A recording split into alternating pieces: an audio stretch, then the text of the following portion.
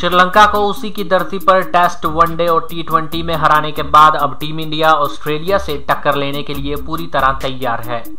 आपको बता दें कि ऑस्ट्रेलियाई टीम 17 सितंबर से भारत का दौरा करेगी। इस दौरे पर वह पाँच वनडे मैचों की सीरीज़ और तीन टी मैचों की सीरीज़ खेलेगी। ऑस्ट्रेलिया के खिलाफ पहला मैच चेन्नई में खेला जाएगा, जबकि दूसरे मैच की मेजबानी 21 सितंबर को कोलकाता का ईडन गार्डन करेगा। तीसरा मैच 24 सितंबर को इंदौर में खेला जाएगा। चौथा मैच बेंगलुरु में 28 सितंबर को और पांचवा नागपुर में 1 अक्टूबर को खेला जाएगा। वनडे सीरीज़ के बाद टीम इंडिया 7 अक्टूबर को ऑस्ट्रेलिया के खिलाफ पहला टी मैच रांची में खेलेगी। वहीं दूसरा और तीसरा मैच गुवाहाटी और हैदराबाद में 10 और 13 अक्टूबर को खेला जाएगा।